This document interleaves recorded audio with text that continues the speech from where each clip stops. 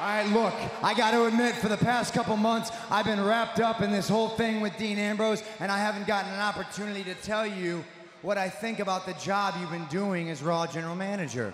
The bottom line is that under your leadership, and I use that term, that word leadership very, very loosely, under your leadership, Monday Night Raw has sucked. And it sucked. It has sucked because of you.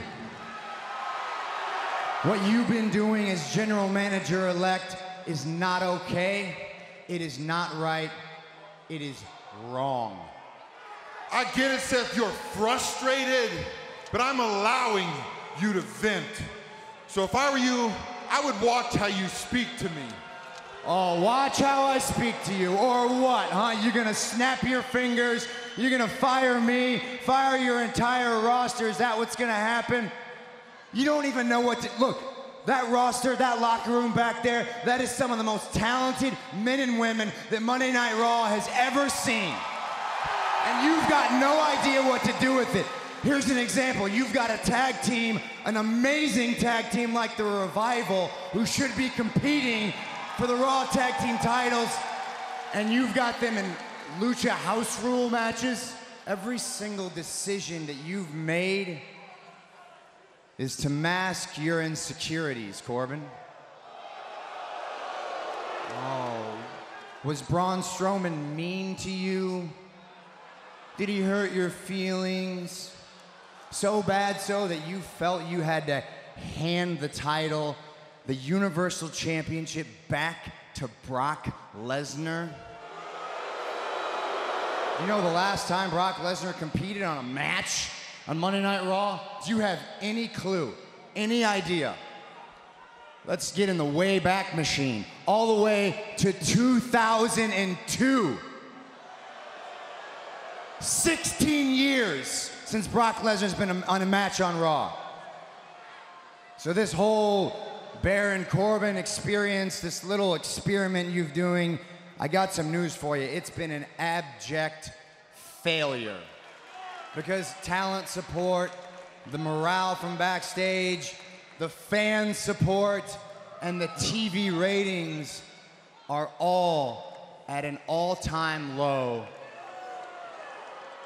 and it is all because of you. Now, Seth, I appreciate your feedback, but next time, save me some time.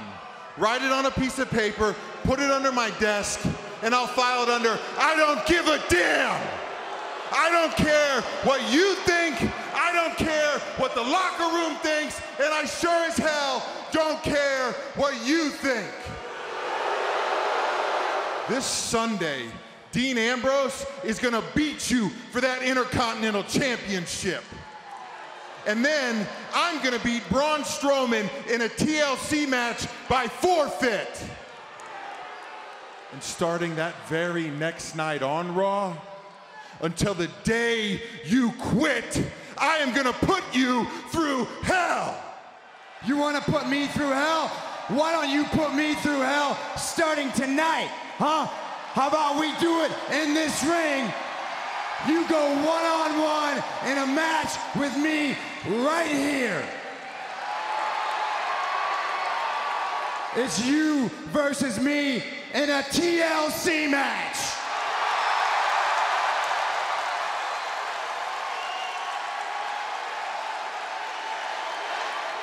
I have no problem making an example out of you. I will show everyone what happens when you disrespect the current and future general manager of Raw.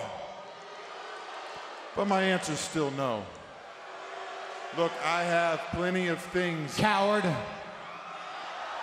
you understand Coward. how- my responsibilities? Coward, No. coward, coward, coward, coward. Hey, how about we could start calling you Coward Elect Corbin? Coward, coward, coward, coward. You know what, Seth? Shut your mouth. You want a TLC match right here tonight? Well, you got it. That match, it'll be for that Intercontinental Championship.